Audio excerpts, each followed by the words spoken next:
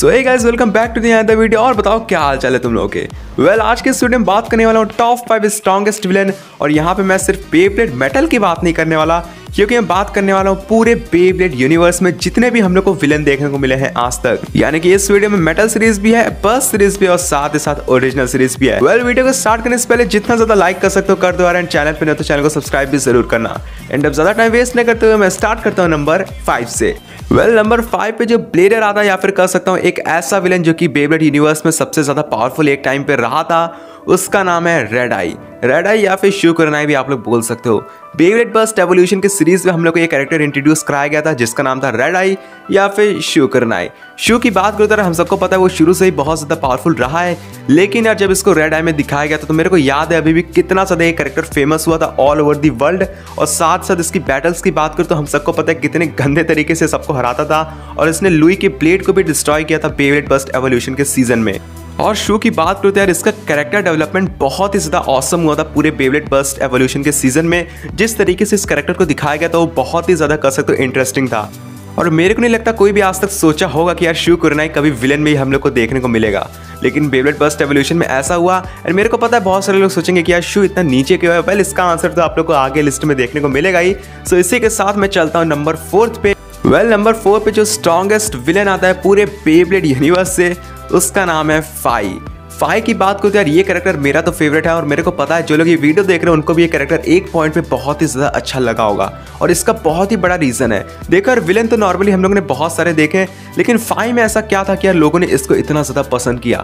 Phi की बात करो तो यार, जिस तरीके से इसका डेवलपमेंट हुआ था पूरे फेवरेट बस टर्बो के सीज़न में, जब ये कैरेक्टर इंट्रोड्यूस कराया गया तो यार हम सबको पता है कितने गंदे तरीके से इसने आयगर को हराया फिर उसके बाद बारी आती है फ्री डेल होया की, उसके ब्लेड को भी इसने पूरे तरीके से खत्म कर दिया था। फिर बारी आती है शिव कुरनाई की शिव कुरनाई को भी इसने हराया था।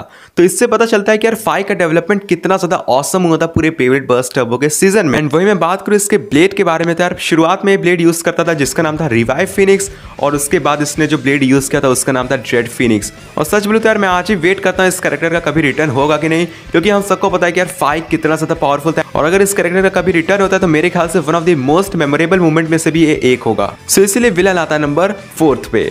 वेल अब नंबर थर्ड पे पावरफुल विलन आता है पूरे बेब्लेड यूनिवर्स से। उसका नाम है ब्रुकलिन ब्रोकलिन का कौन बोल सकता है यार? बेब्लेड ओजी यानी कि ओरिजिनल सीरीज़ के जी रेवोल्यूशन सीज़न में ये कैरेक्टर इंट्रोड्यूस कराया गया था। एंड ब्रुकलिन की बात करूँ, हम सबको पता था जब ये शुरुआत में दिखाया गया था, सच बोले, मैं एक्सपेक्ट नहीं किया था कि यार ये एक विलन होगा। क्योंकि ब्रुकलिन का नेचर हम सबको पता है कितना ज़्यादा शांत रहता था। और कह सकते हो इसको बेब्लेड करने में सच बोले तो मज़ा भी नहीं आता था।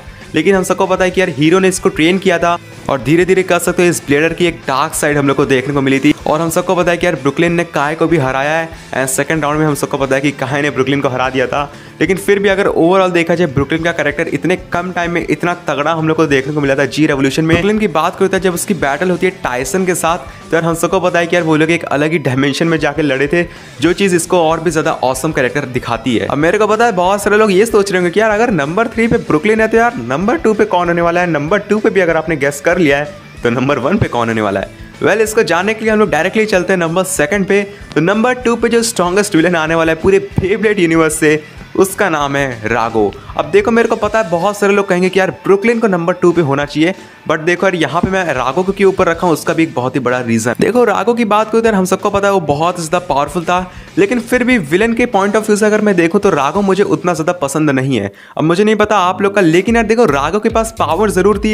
इवन कह सकते हो लेजेंडरी प्लेडर्स की पावर थी। लेकिन अगर मैं रागो की बात करूँ एज अ करेक्टर वो हम लोग को उतना ज़्यादा अच्छे से दिखाया नहीं गया है। लाइक विलन की बात करते हैं रियल विलन वो होता है जो कि जैसे मैंने पहले ही बताया, जैसे फाई हो गया रेड आई हो गया, ये कैरेक्टर्स के अंदर वो दम था कि यार ये लोग विलन खुद से बने।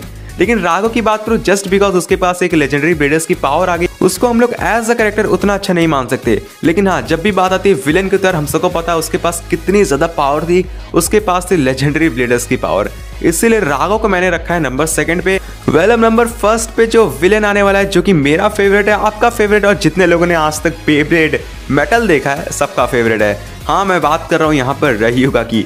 रयुगा की बात करता है देखो मेरे को पता है बहुत सारे लोग बोलने वाले हैं कि जो रागो है उसको तेरे को फ़र्स्ट पे रखना चाहिए। इवन मैंने जब अपनी टॉप टेन की लिस्ट बनाई, उसमें भी मैंने रागो को नंबर वन पे रखा था रयुगा को नंबर टू पे। देखो, मेरे को पता, सबको पता है कि जो रागो था उसके नेमेसिस ब्लेड के अंदर लेजेंडरी ब्लेडर्स की पावर इसीलिए हम लोग कह सकते हैं कि यार वो रयुगा से ज़्यादा पावरफुल है। लेकिन अगर रागो के पास जो ब्लेड था, यानी कि नेमेसिस उसके अंदर लेजेंडरी ब्लेडर्स की पावर न होते, यार वो सिर्फ़ एक ब्लेड है, और हम सबको पता है कि यार रयुगा उसको चुटकियों में हरा सकता है। अगर नेमेसिस के पास लेजेंडरी ब्लेडर्स की पावर न होती एंड मैं बात करूँ रयुगा की, क्यों मैंने एक्चुअली उसको नंबर वन पे रखा है? तो उसका रीज़न ये है। देखो और हम सबको पता है विलन तो हम लोगों ने बहुत सारे देखे हैं। लेकिन जिस तरीके से हम लोग को रयुगा को दिखाया गया था, वो टोटली डिजर्व करता है नंबर वन पे आना, क्योंकि यार जिस तरीके का और था उसका पूरा पेबलेट मेटल फ्यूजन की सीरीज़ में, जिस तरीके से हर एपिसोड में उसको दिखाया गया था, हर एक एपिसोड में जैसे जैसे उसका अपीयरेंस हो रहा था, वो और भी ज़्यादा पावरफुल हो रहा था, और कह सकते हो और भी ज़्यादा एज अ विलन आगे बढ़ रहा था। राघव भी ज़्यादा पावरफुल था, ये चीज़ को मैं डिनाई नहीं कर रहा, लेकिन जब बात आती है रयुगा की तो जिस तरीके का डेवलपमेंट उसका हुआ था बेबलेट मेटल फ्यूजन के सीज़न में, वैसा डेवलपमेंट राघव का बिल्कुल भी नहीं था। राघव के पास बस पावर थी। अ कैरेक्टर राघव का डेवलपमेंट बिल्कुल ही बेकार था। वहीं में बात करूँ रयुगा का तैयार उसका कैरेक्टर डेवलपमेंट भी अच्छा था और उसके पास पावर तो थी। सो या इसलिए आता है रयुगा नंबर वन सो या गए आज के इस वीडियो में इतना ही। अगर आप लोग की वीडियो अच्छी लगी तो प्लीज़ यार वीडियो को लाइक करो चैनल को सब्सक्राइब करो और अपने दोस्तों के साथ शेयर कर सकते हो तो वो भी कर देना। सो so, आज के इस वीडियो में इतना ही and I will see you guys in my next video